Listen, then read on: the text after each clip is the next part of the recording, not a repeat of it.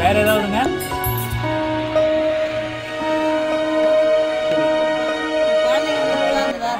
சந்தோஷமா இருந்தாங்க அப்படிங்கிற இது தாண்டி முடிஞ்சிருச்சு நீங்க பசங்களை வந்து நம்ம என்ன பண்ண சொல்லிருக்கோம் நீங்க பசங்க என்ன பண்றாங்கன்றது